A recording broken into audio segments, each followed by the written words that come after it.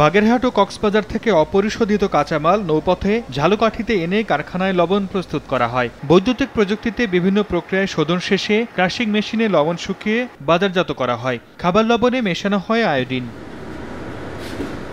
তবে দীর্ঘদিনেও আধুনিকায়ন হয়নি জেলার নয়টি কারখানা। বর্তমান বাজারে বিভিন্ন প্রতিষ্ঠান ঝরঝরে লবণ সরবরাহ করছে। কিন্তু পুরাতন প্রযুক্তিতে ঝালকাঠিতে সেই মানের লবণ উৎপাদন হচ্ছে না। এই কারণে বাজারজাতকরণ প্রতিযোগিতায় পিছিয়ে আছে এখানকার ব্যবসায়ীরা। পাশাপাশি বৈদ্যুতিক ব্যবহারে উৎপাদন খরচও বেড়েছে আগের চেয়ে। এজন্য পাইপলাইনের মাধ্যমে ভোলায় পাওয়া প্রাকৃতিক গ্যাসের সরবরাহ চান কারখানা মালিকরা। যদি আমাদের এখানে গ্যাস থাকতো, তাইলে আমাদের লবণটা আমরা কারেন্ট থেকে সঞ্চয় হতো তারপর হচ্ছে লবণটা অনেক ভালো মানের হতো গ্যাস হলে আমাদের উপকার হইলে আমরা মিল কারখানা মডিফাই করে ফেলব আমাদের ভোক্তাকে আমরা তিরিশ টাকা পর্যন্ত দিতে পারি বড়োর সঙ্গে আমরা যে এখনও আছি টিকা হ্যাঁ দোয়া।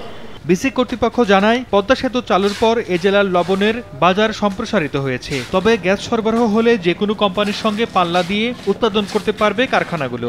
যদি সরকার সদয় হন এবং গ্যাস সরবরাহের দিকে মনোনিবেশ করেন তাহলে এই শিল্পগুলো টিকে থাকবে এবং খুব অল্প খরচে মানুষের দোরগোড়ায় লবণ পৌঁছে দিতে পারবে। বিসিকের দেয়া তথ্য মতে বরিশাল বিভাগের চারটি জেলায় মোট তেরোটি কারখানা নিয়ে দক্ষিণাঞ্চলের লবণজন গঠিত। এর মধ্যে ঝালকাঠিতে রয়েছে নয়টি কারখানা। সময় সংবাদ, ঝালকাঠি।